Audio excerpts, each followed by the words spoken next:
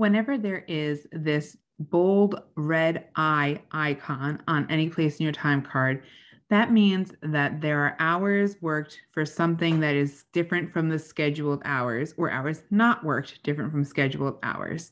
If you hover over this, which is called an exception, it will tell you what the exception is.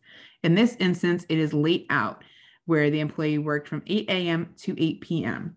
You'll need to give an explanation as to why there was this overtime. To do so, you right click on this and you click comments. We're going to use an example here that there was snow. So the comment would be that there was snow, and then we can put in stayed to salt and shovel. Click OK.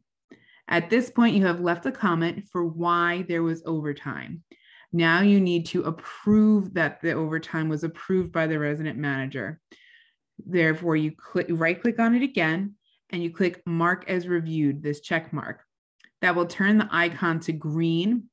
And that means that it is okayed and that it was an approved overtime. You'll click save at this point. In any buildings that are 32BJ, you will see that because that is a four hour overtime, it will automatically at the bottom calculate 40 hours regular, four hours overtime, and a $15 meal money.